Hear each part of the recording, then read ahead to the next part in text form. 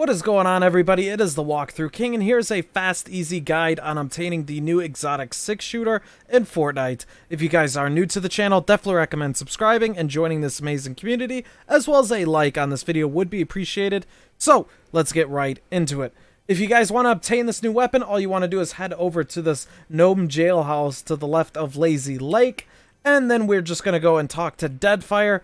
Boom, as you see, he sells the exotic marksman six shooter for 400 gold a piece and he has five in stock. I believe that is five in stock every single game as well so your whole squad could get it if you guys do land here.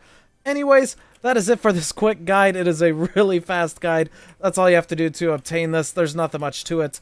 I hope you guys enjoyed this fast guide. If you guys want to see more content like this join this community. This has been the walkthrough king. And we'll see you guys at the next video. Peace.